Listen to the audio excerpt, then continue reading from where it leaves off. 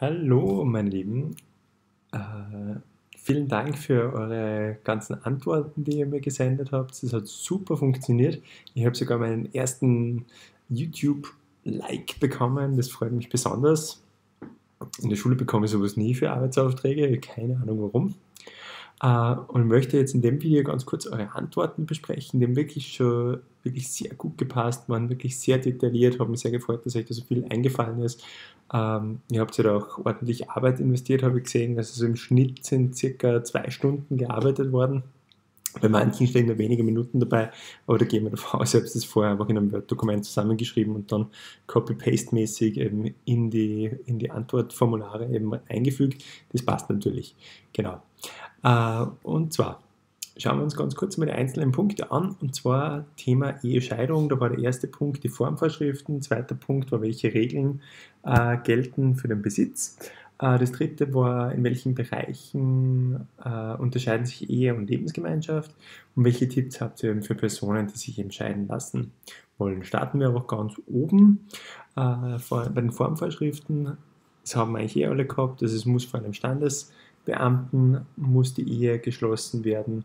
Ähm, es müssen beide Personen anwesend sein, das ist ein wichtiger Punkt.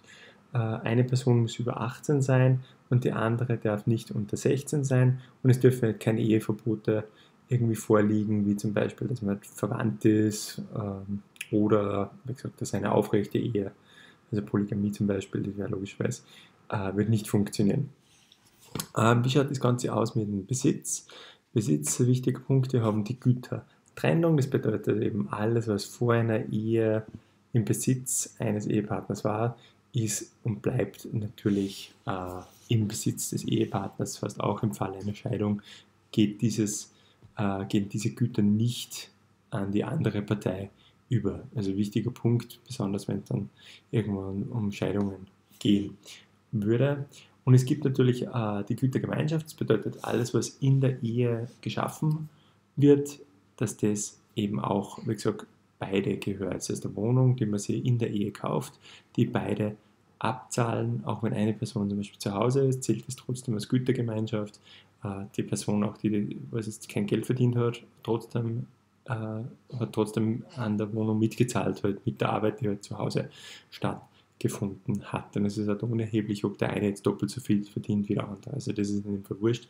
Das ist aber Gütergemeinschaft, alles, was halt in der Ehe geschaffen wird, gehört auch beide. Ähm, wo haben wir Unterschiede bei Ehe- und Lebensgemeinschaften?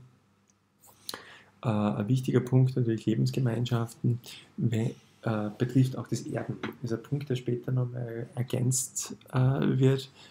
Wenn in einer normalen Lebensgemeinschaft, also keine Verpartnerung, weil das fällt jetzt im Endeffekt eh weg, weil wir haben ja Ehe für alle, sondern in der ganz normalen Lebensgemeinschaft, äh, Freund und Freundin, die zusammenleben, da habe ich natürlich kein Anrecht, wenn eine Person stirbt, da erbe nichts. Also das, das fällt einfach in dem Fall weg, weil eben keine Ehe da ist oder sonst irgendeine eingetragene Partnerschaft. Das ist ein ganz wichtiger Punkt, den man einfach bitte dazu schreiben muss. Äh, der letzte Punkt war dann der Bereich mit den, äh, also der Bereich mit, genau, wenn man sich scheiden lassen möchte, was für Tipps, was könnte man da sagen? Also da geht es eigentlich hauptsächlich darum, wie könnte oder wie kann man so wenig Probleme im Rahmen einer Scheidung machen und da ist am einfachsten, wenn man auch als Antwort geben würde. Die einvernehmliche Scheidung, das haben wir der, der, Großteil von euch gemacht, weil das auch das Einfachste ist, das Unkomplizierteste und wo halt im Prinzip die Anwälte am wenigsten verdienen. Und insofern macht das natürlich einen Sinn, wenn, wenn Scheidungen der, immer einvernehmlich sind. Und das wird ja auch zum größten Teil gemacht. Die andere Art der Scheidung, das wäre die Verschuldensscheidung, wo es dann die unterschiedlichen äh, Gründe halt gibt, die man angeben kann, warum eine Ehe geschieden werden soll. Aber das, das, wie gesagt, das, das kommt eher selten vor. Also schaut sich, wie gesagt, das mit der Einvernehmlichen einfach gut an, warum die eben von Vorteil ist. Äh, das nächste war das Thema Personenrecht. Beim Thema Personenrecht, äh, da haben wir die ganzen Altersabstufungen gehabt. Was darf ich mit welchem Alter machen? Und zwar haben wir gehabt die Abstufung eben die unmündigen Minderjährigen bis sieben Jahren. Die mündigen Minderjährigen, äh, die eben dann von 14 bis 18 wären und dazwischen eben auch noch die Minderjährigen von 7 bis 14 Jahre, wo man auch unterschiedliche Dinge kaufen darf oder eben nicht kaufen darf. Und von euch volljährig. Volljährig darf man vergessen, ist ab 18. Ab 18 darf ich alles, ich darf mir alles kaufen, ich darf Schulden machen etc. Und da haben wir dann eben bei den jeweiligen Punkten die genauen Unterscheidungen gehabt, zum Beispiel was die Geschäftsfähigkeit betrifft. Also bei 0 bis 7 Jahren darf ich zum Beispiel Taschengeldgeschäfte äh, machen. Also ich darf mal Kleinigkeiten im Supermarkt kaufen. Von 7 bis 14 ähm, kann ich ebenfalls Taschengeldgeschäft logischerweise machen und ich kann äh, selber Schenkungen annehmen. Das heißt, wenn ich Geld von Oma und Opa zum Beispiel bekomme, dann darf ich das natürlich selber äh, annehmen, außer es wäre mit Belastungen äh, irgendwie verbunden.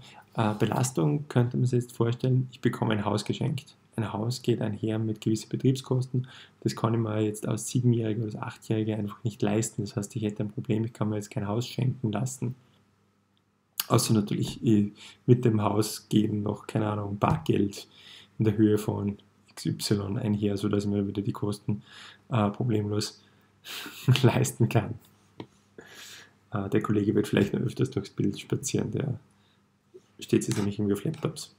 Okay, schauen wir weiter. Und zwar Geschäftsfähigkeit, genau, haben wir gesagt. 14 bis 18, die sind beschränkt geschäftsfähig, bedeutet, die dürfen Verträge abschließen, allerdings nur in einer Höhe, wo sie eben selber Einkommen zum Beispiel haben oder beziehungsweise, dass die Lebensbedürfnisse nicht gefährden würde. Also kann man jetzt keinen Sportwagen leasen, wo ich sage, da kann ich mir die, da kann ich mir die Leasing und die Versicherung zum Beispiel nicht leisten. Also das würde nicht funktionieren. Aber ich könnte mir natürlich ein gebrauchtes Auto kaufen um 2000 Euro oder so, wenn ich halt zum Beispiel in der Lehre bin. Also das wäre, wäre schon wieder möglich. Bei vielen anderen Verträgen ist es eben so, dass es oft einfach dann die, das Einverständnis der Eltern, dass die Eltern mit, äh, mit unterschreiben müssen oder auch bürgen müssen. Ähm, genau.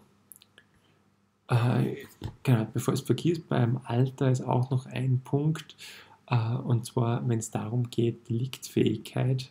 Äh, was bedeutet das? Deliktsfähigkeit ist natürlich auch altersfähig.